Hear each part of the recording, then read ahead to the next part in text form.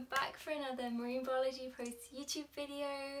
I told you wouldn't have to wait long and hopefully if I've edited this quickly, you haven't waited that long. little mini series of frequently asked questions that I always get on my Instagram. So today we're going to look at the best subjects to take for marine biology. This can either be an A level or a GCSE level, depends, or whatever equivalent stage you're at. But these are just, I think, the five best subjects that you need to take for marine biology that will set you up the best and you'll find the degree easier. well, hopefully. this will just help transition you into the degree as smoothly as possible and it won't feel as overwhelming. Before I say anything else, I think it's really important to remember that when you're picking your subjects to study and take, it's really important to take subjects that one, you're really good at because you're going to get good grades more easily if you do this and that's kind of the goal. Two, ones that you actually enjoy, you'll be more motivated to do them and you are more likely to do better. So that's just really important disclaimer at the beginning. Also I have to say doing the course that I'm doing, I know first year was a lot of levelling the playing field so we did a lot of these five subjects and A-level level, kind of getting everyone up to the same knowledge base. So I never took physics or maths but we did some like A-level physics and maths in the first kind of semester so that everyone was on like an equal playing field. Also, another thing, you do not need to take five A-levels. Um, you can, I know some people do, but uh, I didn't. I took three A-levels, one AS, and then an EPQ, but I didn't take five. So it's kind of really difficult to take five, so you can just pick like your top three that you really want to take from these five or something like that.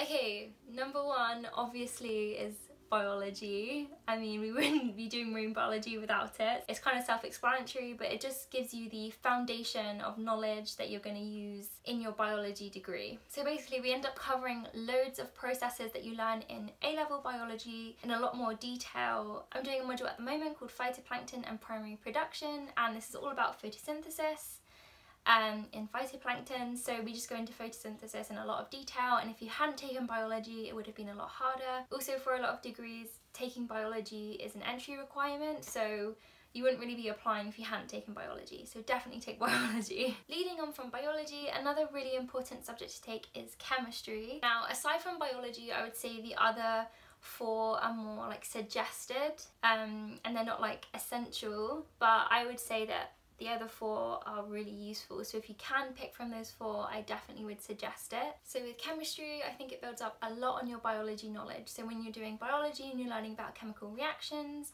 and all these biological processes a lot of that is chemistry and by doing chemistry you actually understand things in a lot more detail and things kind of make sense and all the jigsaw pieces kind of fit together. It also comes up in quite a lot of modules. I know in first year we did biogeochemistry and obviously that had a lot of chemistry in it but it was more about chemistry within the ocean and the processes of all the elements and how everything works basically. You also do a lot of things on like oxidation and reduction reactions which are really important to understand what they are and you might have some basic knowledge of that from biology but chemistry you can really drill that into you so you probably understand what's going on. Also taking chemistry you do a lot of lab work which is so helpful at university. You actually understand lab work a bit better so, so you understand the equipment and the processes that you're doing and that can be really useful. Another really key subject to take is geography and this kind of links to chemistry as well in a way. This gives you a basic understanding of geological processes like weathering, how rivers work, erosion, uh, estuaries, that kind of thing which come up a lot in a lot of modules. It can also help you understand how like the world functions as a whole, so when you're looking at large concepts like tides and currents, it can be really helpful in your understanding of that. It's quite a good one that links in with oceanography and it also is quite useful because I remember at A-level and GCSE geography we did like stats tests, so like t-test, Spearman's rank, um, and that comes up quite a bit when you're doing data analysis. And then these last two I never took. I only took biology, chemistry, geography and like a random history guess. But um, I never took physics or math, but we're going to start with maths. Ew, I hate maths. But it does kind of crop up a little bit in marine biology. Um, I wouldn't say it's super advanced maths. I'd say it's definitely a big step up from GCSE, but I never took A-level maths, I just did maths in my A-level chemistry and biology and geography.